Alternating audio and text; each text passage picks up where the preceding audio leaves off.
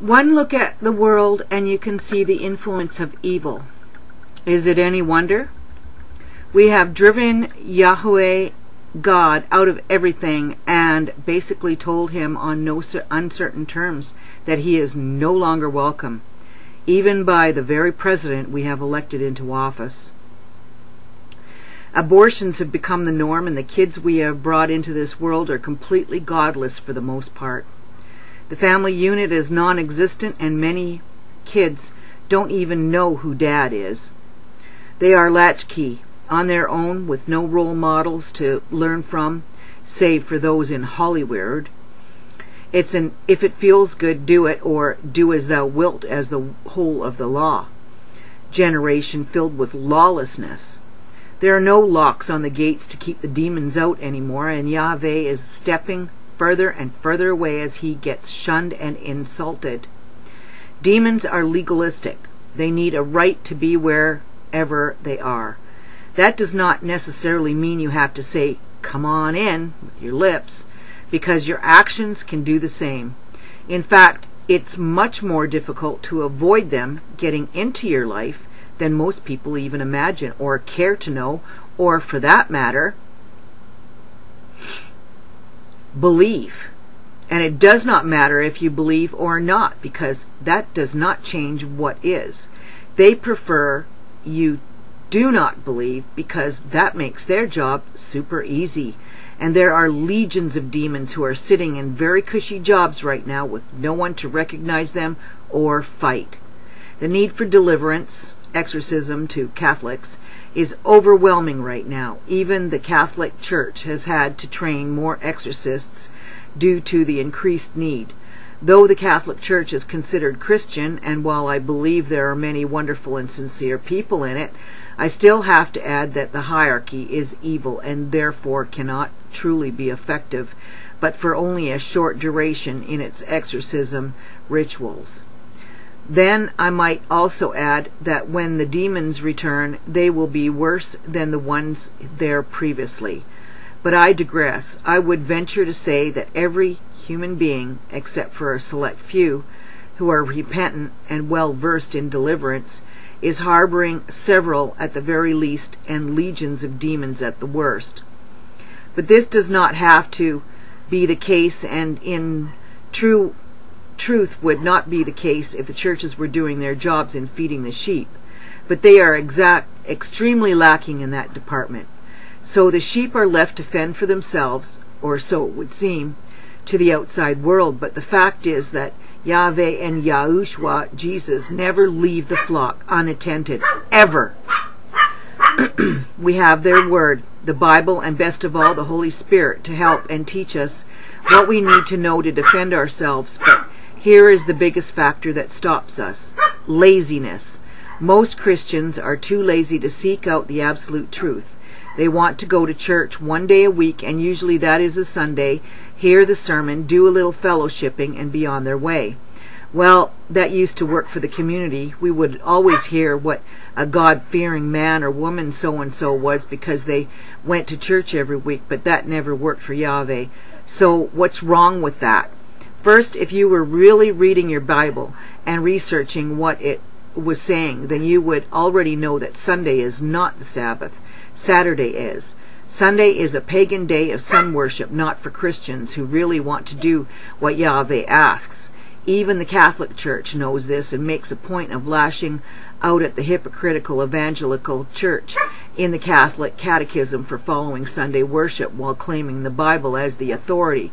So why do they do it? Because they claim the Pope as the infallible representation of Christ on earth, and the Pope says to worship on Sunday.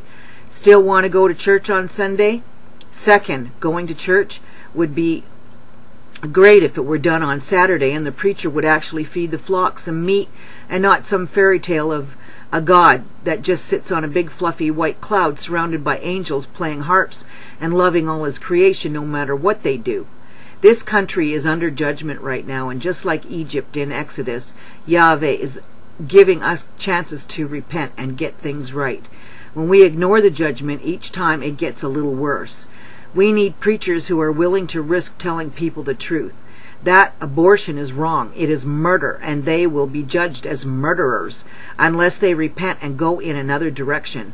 That homosexuality is an abomination unto Yahweh, who made us to create life in his way, by his design, and not to live in carnal sin as a slave to the flesh that there is only one true God, and that thinking that all paths lead to Him is a severe error, and that can be proven in Scripture, and that each of these sins brings a host of demons attached to them that will abide with and in them ru- ruining their lives and their chances of salvation. The fear of God needs to be upon pastors stronger than the fear of losing the crowd and therefore their weekly basket of money. What you need to know about demons. Demons seem to fall into one of two groups. Either they are high ranking, Nephilim, the original fallen angels that rank just under Satan himself, and that came down that came down from uh, uh, Mount Hermon and mated with the daughters of men in Genesis 6, 2, and 4. Or they are the offspring of the Nephilim, called the Gibborim, who Yah- Yahweh commanded all killed off in the flesh, yet being part angelic and therefore immortal, became the evil spirits that we always hear about. This can be seen in the book of Enoch, which I highly recommend that you read. The Gibborim are lower ranking, but actually more evil than the higher ranking demons because in the mixture of the DNAs, it caused them to become increasingly more deranged as time went on. Their bloodlust while in the flesh became so intense that they quit killing their prey when eating and just tore them to bits, devouring them alive. Their insatiable hunger drove both small and large animals to the brink of extinction, and at that point they turned to human flesh, devouring us in the same manner. Oh yes, did I mention they were giants? There, these are the giants that are mentioned in Genesis 6 4. So that is where they come from, and as you might be able to glean thus far, the Nephilim were part of the group of angels that Satan corrupted. They sided with him and left their estate, and because of this, they are eternally doomed. See Enoch. So they have been around since the beginning, since way before us. They have been watching us for thousands of years. They know our nature better than we do. They know our weaknesses better too, and they use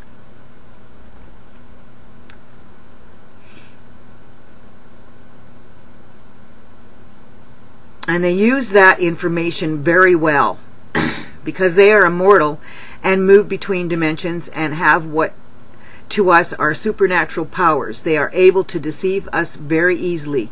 Even though they are mortal, like us, they must have nourishment. The angels that still serve Yahweh eat manna because that is also told to us in the Bible. Psalm 78, 24 to 25. But the fallen ones and the evil spirits no longer thrive on what is pure and good. The ultimate food for them is blood.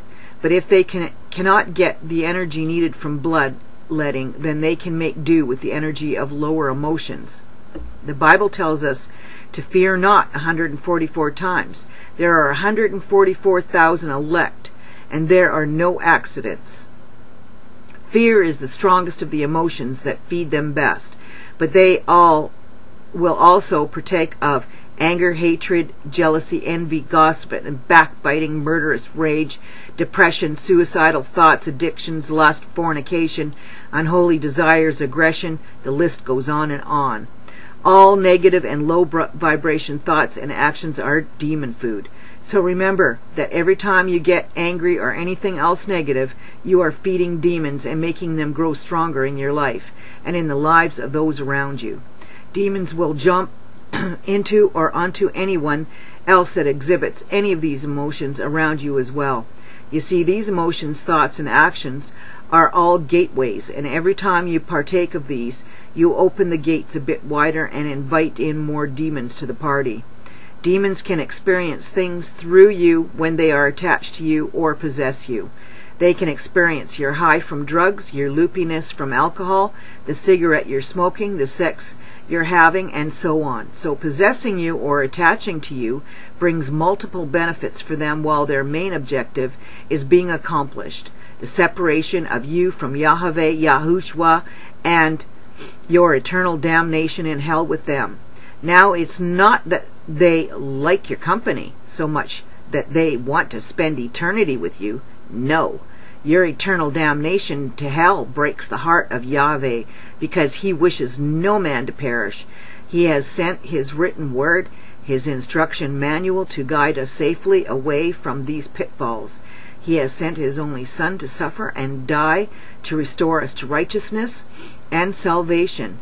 When we say no to all that he has offered us, he will give you your freedom to choose your path, even though it hurts him terribly to do so, even though he knows what you face because he has warned you repeatedly because he has sent his prophets to warn you.